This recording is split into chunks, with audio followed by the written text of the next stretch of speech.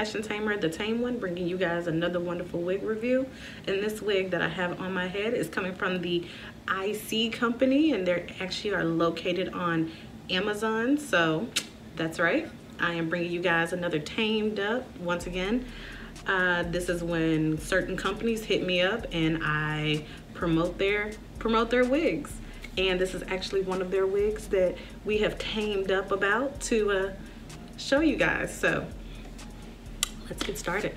So when you first get your wig, it comes in a box like this and it says ISee 100% human hair. So that's right, this is a human hair. I believe I got 12, but I think this is 10 inches, a 10 inch bob. It is lace front. It, uh, it has a 13 by 4 parting space, so it is a full frontal wig. So you are able to part it just like I did mine. Uh, so 13 by 4, it's 13 inches across, 4 inches back. Um, there are three combs in the front, two on the sides, one in the middle, and then there is one in the back along with the adjustable straps. Uh, on the back of the box, it actually has all of their information, basically of how to contact them and where to find them. So you can find them on Instagram, WhatsApp, Facebook, Twitter, and also YouTube. So even better.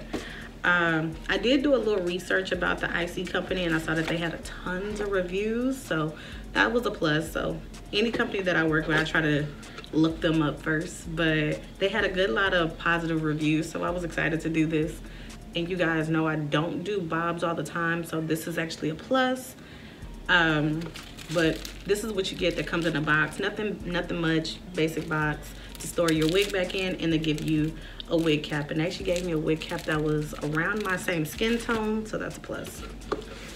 Um, let's get into this wig because there are some cons, but they're not really cons. It's just, if you're a first time wig wearer, I would take this to your beautician or someone that you trust with your wigs to kind of help you mm, kind of help you like customize this unit to your liking. Uh, when you first get it it comes in a bag typical bag with a net.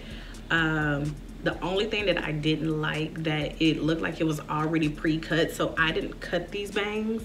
These were already pre-cut. Uh, that's a no-no with me. I usually like to cut my own units if I choose so.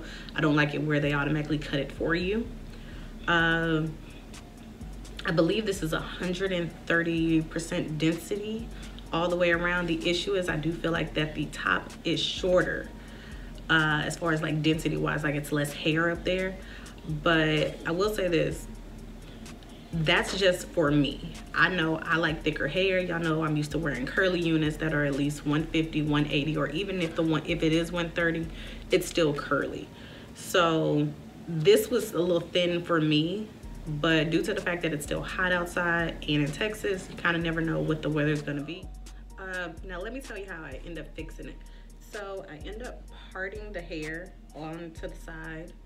Uh, I tried to do a middle part. It did not work out the way I had envisioned it because that's usually how I like my bobs with a middle part.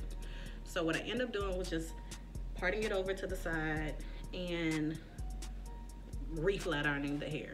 And then I use my Nairobi to kind of set it and I also use a wax stick to kind of lay down the hair a little bit flatter and this is the result so I hope you guys like it and I hope this video was kind of helpful to kind of give you some insights of what you'll be getting yourself into if you purchase this unit from the ISee company on. Uh, my allergies are tripping.